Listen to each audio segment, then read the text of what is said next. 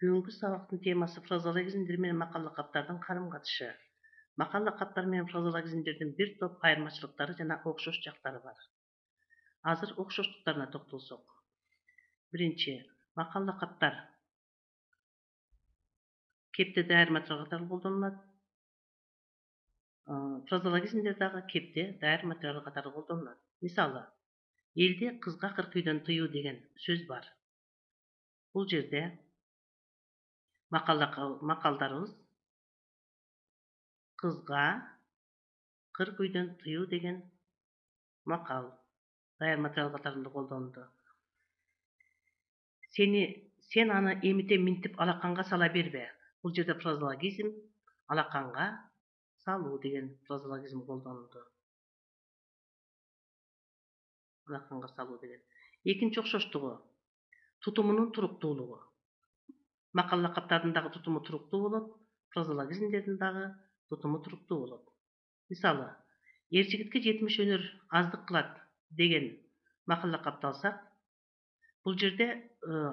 макал лакаптардын тутумундагы сөздөрдү алмаштырууга болбойт жетимишти кырк же элүү менен алмаштырууга болбойт туруктуу ошол сыяктуу эле фразеологизмдер дагы туруктуулукка ээ мисалы биттин ичегисине кан куюу бул жерден эр жигитке жетимиш өнөр аздык кылат дегенде бул макал лакаптар ар бири өзүнчө талданат ал эми фразеологизмдер болсо бир гана сүйлөм мүчөсүнүн милдетин аткарат. Үчүнчү окшоштук жагы образдуулугу макал лакаптар образдуулукка ээ сөзүбүздө кебибизде булар элестүү так берилет. Ошондой эле фразеологизмдер дагы образдуулукка ээ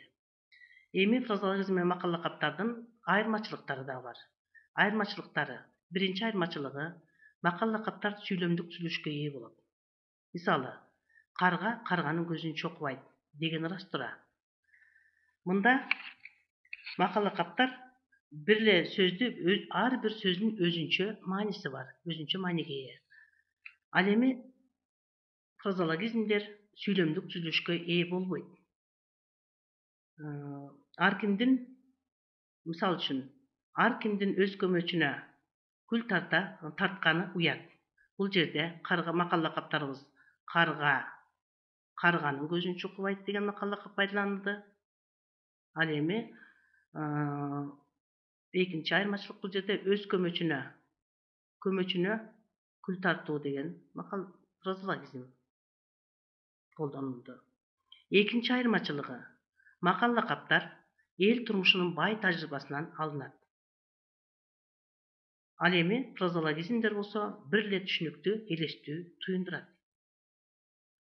үчүнчү айырмачылыгы макал лакаптар дидактикалык мүнөзгө ээ башкача айтканда бул таалим тарбиялык мааниси бар берет ал эми фразеологизмдер болсо андай касиетке ээ эмес дагы эскерте кетчү нерсе айырмачылыктарында макал лакаптарды сүйлөмдүк ээ дедик бул жерде макал лакап кадимкидей ар сүйлөм түзүлүшкө ээ болгондуктан ар бири ар башка талданат азыр карайлык карга карганын көзүн чокубайт деген макал лакапта чокубайт баяндоочу болду ким эмне чокубайт карга чокубайт эмнени чокубайт көзүн чокубайт көзүн чокубайт бул жерде мына толуктооштук милдетти аткарып калды толуктооштук милдети андан кийин эмненин көзүн чокубайт экен карганын көзүн чокубайт демек бул жерде аныктооштук милдет аткарып калды аныктооштук милдет аткарып калды ал эми фразеологизмдер болсо бир нече компоненттен тургандыгына карабастан бир гана сүйлөм мүчөсүнүн милдетин аткарат ар кимдин өз көмөчүнө күл тартканы уят деген сүйлөмдө баяндоочу уят уят эмне уят көмөчүнө күл тартканы уят бул сүйлөмдүн ээлик милдетин аткарды өзүңөр көрүп тургандай бул жерде көмөчүнө күл тартканы деген бир фразеологизмдер бир гана сүйлөм мүчөсүнүн ээлик гана милдетти аткарды ал эми кимдин өзүнүн аныктооштук милдет аткарып атат андан кийин демек кимдин көмөчүнө экен ар кимдин өзүнүн деген бул аныктооштук милдетти аткарып калышты демек мына ушундай айырмачылыктар бар экен э, ушул айырмачылыктарына карап туруп макал лакаптарды фразеологизмдер менен чогуу тилдин бир бирдиги катары кароого жол бербейт.